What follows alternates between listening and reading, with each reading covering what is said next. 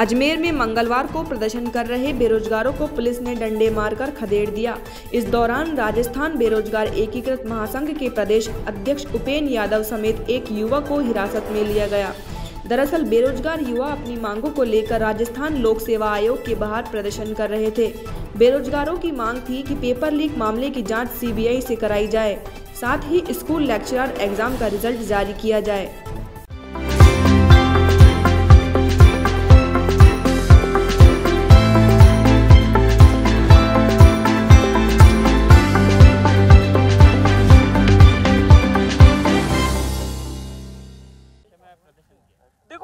RPSC की लापरवाही सामने आ रही है। पिछले चार महीने हो चुके हैं, स्कूल व्याख्याता भर्ती का परिणाम एग्ज़ाम हुए लेकिन अभी तक परिणाम जारी नहीं हुआ तो जल्द से जल्द स्कूल व्याख्याता भर्ती परीक्षा का परिणाम जारी किया जाए, क्योंकि रीट के एग्ज़ाम से पहले, क्योंकि छह हज़ार लोगों का चयन हो जाएगा तो छह हज़ार लोग रीट में नहीं जाएँगे शिक्षक भर्ती में, जो फरवरी में आयोजित होने वाली है।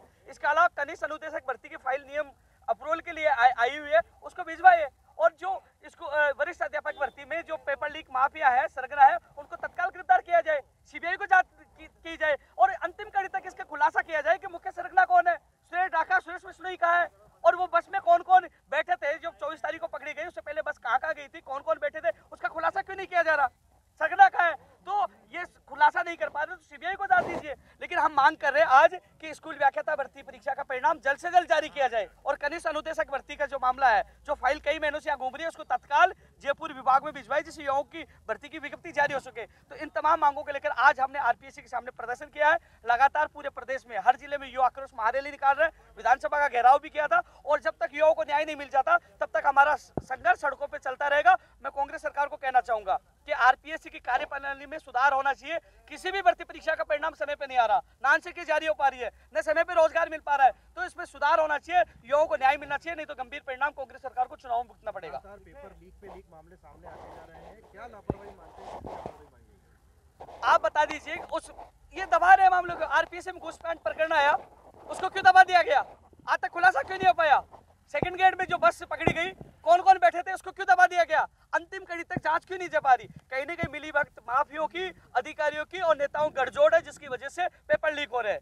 और हम कह रहे हैं, इस बार चुनाव में जीत की चाबी युवाओं के पास होगी।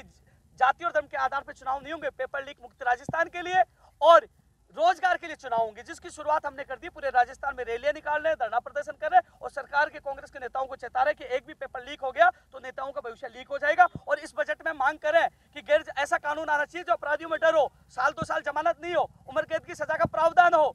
आप रासु का राजपाशा लागू करिए।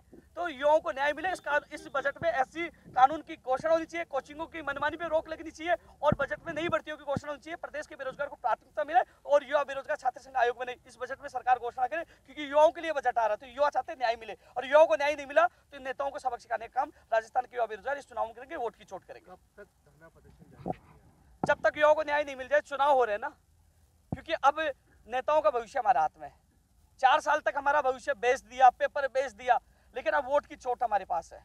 इसलिए अभी मैं निवेदन करना चाहूँगा, हम कांग्रेस पार्टी मुख्यमंत्री जी के खिलाफ नहीं है। यदि युवाओं को न्याय मिलता है, पेपर लीक की, पेपर लीक माफियों का खात्मा होता है, वो जेल में डाला जाता है, और समय पर जैसे स्कूल व्याख्याता भर्ती सहित तमाम भर्ती परीक्षाओं का परिणाम समय पर आता है, समय पर रोज़गार मिलता है तो हम लोग साथ हैं। और न्याय नहीं मिलता है तो हम बगावत कर चुके हैं, यानी कि वोट की चोट करेंगे और आक्रोश युवाओं का सड़कों पर उतर चुका है।